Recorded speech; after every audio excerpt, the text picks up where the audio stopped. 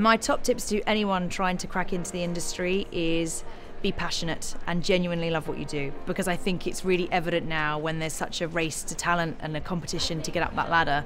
You really notice the people that are completely dedicated and just are so immersed in this world versus the people who maybe don't quite have the dedication in them. So if you're into this, make this your world, be completely passionate, be incredibly open.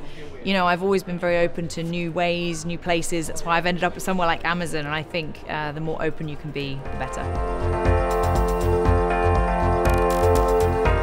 It was absolutely fantastic. The scheme for me. I always say this. Uh, one of the first people that we came that came to speak to us on our um, our particular event was Jay Hunt, and I honestly sat there uh, too many moons ago to say, listening to her telling us about how she juggled children, had this incredible career, just thinking that's what I want to do. I can do this. It's okay now to do this fast forward, you know, 10 years, I've got my first child, I'm in a fantastic job, and I'm also that person now able to say to people, you can do this, like particularly women, it's possible to have the career, have a fantastic family, and do that. So it was hugely influential for me.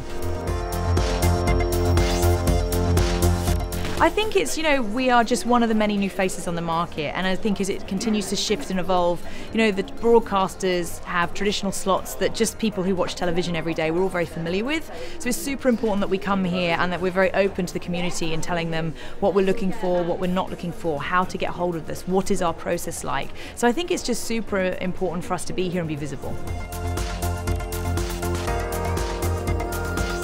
If I knew that, I'd be rich.